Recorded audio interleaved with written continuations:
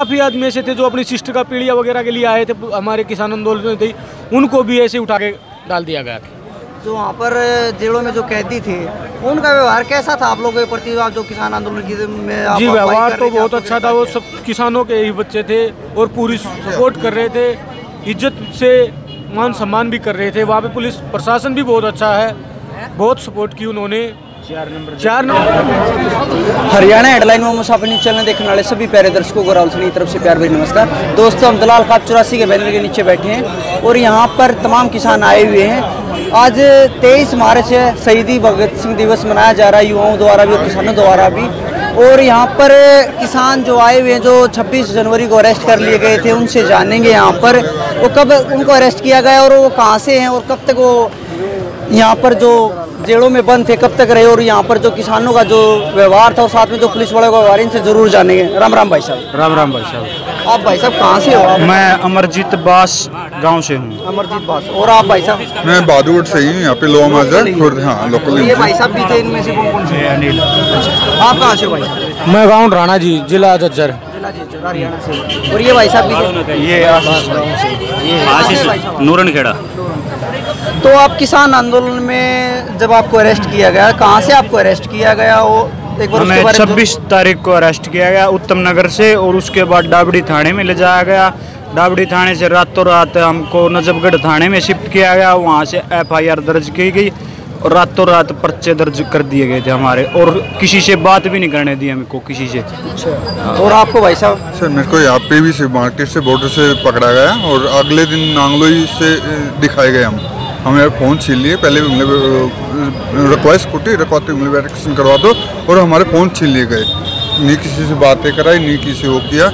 बहुत बदतमीजी की यहाँ पे थाने में और अगले दिन हमारी एफ़ आई करवाई सताईस तारीख को। किस टाइम आपको गिरफ़्तार किया हमको कम दो पंद्रह दो बीस के पच्चीस के भी उसमें दोपहर के समय हाँ दोपहर के समय पकड़ा गया। था। और आपको भाई साहब? ये पीवीसी रोड से किया था जी टिगरी बॉर्डर जो पीवीसी रोड। है पीवीसी मार्केट हाँ से ही? एक्टिवा पे थे हम।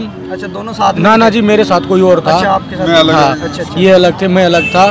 और सत्ताईस तारीख पहले तो हमारे को यही कहा गया कि एक घंटे में छोड़ देंगे आध घंटे में छोड़ देंगे। अच्छा। फ़ोन फान ले लिए बैठा दिया। गाली गलोच करने लगे और उसके बाद फिर सत्ताईस तारीख को आ, हमारे को नांगलोई ले गए। नांगलोई में जाके हमारे ऊपर इन्होंने एफआईआर दर्ज कराई। और आशीष भाई साहब आपको कहाँ से गिरफ़्तार हमें पीवीसी रोड से। आपको पीवीसी रोड से किया गया? हाँ जी। ये देखिएगा जो किसान है इनको पीवीसी रोड से गिरफ़्तार किया गया था। तो वहाँ पर जो आप तिहाड़ जेल में गए तो वहाँ पर पुलिस प्रशासन का क्या रवैया था शुरू से ही मारपीट शुरू कर दी थी। उत्तम नगर से गिरफ़्तार किया था नहीं मेरे हाथ पे और पाँव पे ज़्यादा निशान थे। डॉक्टरी करवाई उसमें भी कोई निशान नहीं दिखा रखे उन्होंने। और जेल के अंदर भी ले गए दो नंबर जेल में ले गए थे वहाँ हमारे साथ वहाँ भी मारपीट की थी। और ऐसा बना दिया था कि हमें कुछ याद ही नहीं था क्या हो रहा है क्या नहीं हो रहा है कहाँ पे है कहाँ पे नहीं।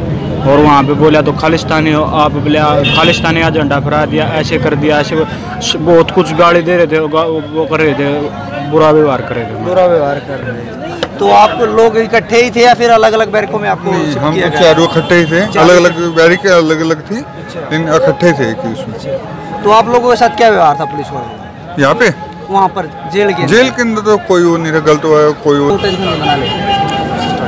यहाँ पे तो जेल के अंदर तो कोई वो नहीं हुआ। हाँ वहाँ पे तो अच्छा ठीक था वहाँ पे कोई वो नहीं था। हाँ पूछने भी आते थे कोई वो है, किसी परेशानी वगैरह नहीं हुआ कोई वो नहीं थी। तो उस दिन कितने लोगों को तकरीबन गिरफ़्तार किया गया आपको कुछ जानकारी है तो? उस दिन हम यहाँ पी वी सी मुंड का जो थाने में सत्रह थे अच्छा सत्रह हाँ, लोगों को सत्रह लोगों को और दिखाए नांगलोई और सभी को फिर अगले दिन सत्ताईस तारीख को नांगलोई ले जाया गया था। हाँ, जाओ। वहाँ पे तो आपको पता चला भी कौन कौन सी धाराएँ आपके ऊपर लगाई जी गई धारा तो अठारह बीस उन्होंने ही बताया था कि भाई तुम्हारे मतलब खाना वाना खा लिया नहीं तो बोला अठारह खाना खिला दिया ऐसे कमेंट किया था उन्होंने। फिर उसके बाद हाँ जी। हाँ? उसके बाद 307 वगैरह जैसी गंभीर धाराएँ लगाई हुई हैं। अच्छा। हाँ बोल रहे थे कि तुम्हारा तो जो कुछ है नहीं सब कुछ बिक जाएगा आप बाहर भी नहीं आओगे। कई सालों के लिए अंदर ही रहोगे। तो घर वालों को कब सूचना मिली कि हमारा लड़का घरवालों जो को तो- आंदोलन में गया था वो गिरफ़्तार कर लिया गया इस तरह का? घर वालों को तो शाम को या सत्ताईस को पता लगा था। सत्ताईस को मेरी बुआ आई थी नजफगढ़ थाने में उसको मिलने भी नहीं दिया मेरे से। अच्छा। बाद में जब कोर्ट में पेश करने के लिए जाए बाहर ही बाहर वो हुई थी। और वहीं से पता लगा था कि हम हमारा पर्चा दर्ज हो लिया और घर को वहीं पे सब कुछ पता लगा। जैसा कि बहुत सारे घर वालों को पता ही नहीं चला कि हमारा लड़का गिरफ़्तार हुआ है या कहीं चला गया क्योंकि बहुत सारे लापता हो गए थे उस टाइम के बाद। तो घर वालों को भी थोड़ा बेचैनी होगी हमारा लड़का पता नहीं गिरफ़्तार हुआ है या कहीं गया है क्या है क्या नहीं है। जी घर वालों को तो बेचैनी होनी है थी जब दिन में दोपहर दो बजे के आसपास पकड़ा गया फ़ोन बंद कर दिए इन्होंने और अगले दिन तक कोई मैसेज ही नहीं करने दिया इन्होंने। तो घर वाले तो बेचैन हो गए थे। और आशीष भाई फिर आप कितने दिनों बाद जेल से रिहा अड़तीस दिन बाद। अड़तीस दिन बाद रिहा हुए। और मैं एक बात और जानना चाहूँगा जो संयुक्त मोर्चा जो किसानों का संगठन है तो उनका मतलब जो आपके प्रति क्या रवैया रहा? मतलब उन्होंने कितनी आपको सहायता दी? क्या कुछ उनका योगदान है? योगदान उन लोगों का और हमारे सर वकीलों का भी हम तय दिल से धन्यवाद करना चाहते हैं और हमारे अंकल भी आए हुए हैं और मेरे गाँव के लोग भी आए हुए हैं यहाँ पे। उनका भी बहुत धन्यवाद।